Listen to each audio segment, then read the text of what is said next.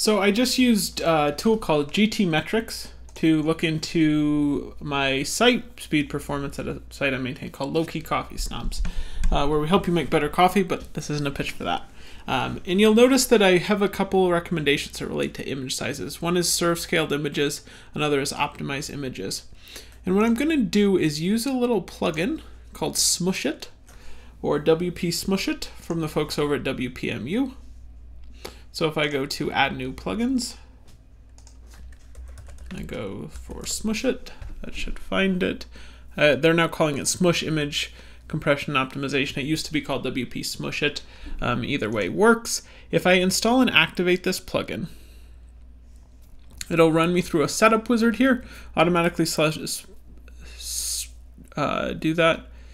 Um, sure, yeah, let's do that. Okay, so I can smush all my images with clicking this one button down here.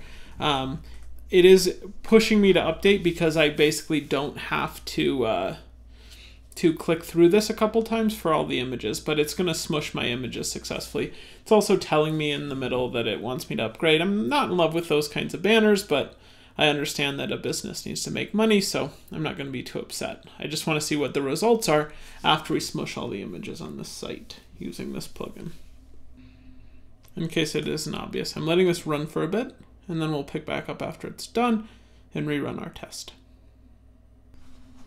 So this bulk smash needed to be performed up front, um, but in the future it's set up to automatically smush new images. You'll notice that one of the limitations that WPMU has set on this is that I can't auto uh, shrink the full size image without paying for it.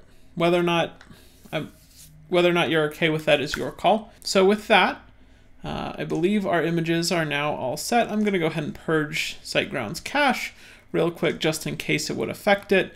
And then I'm going to run a retest. You'll notice, again, I think the score that will most obviously change is that optimized images, I'm currently getting an F or a 41 size score. So let's go ahead and run that on GTMetrix. So we're retesting after we've optimized with Smushit or WP Smush or whatever you want to call it. Um, and you'll notice right here, we've essentially lost the complaint about the images. Now our images get an 83. So it's a huge gain. We've basically doubled that score without any struggle. Obviously, the serve scale images is actually a different problem. It's just saying that I'm showing too big an image in too small an area, which is something I can tweak, something I can solve, but we'll have to leave for another quick guide.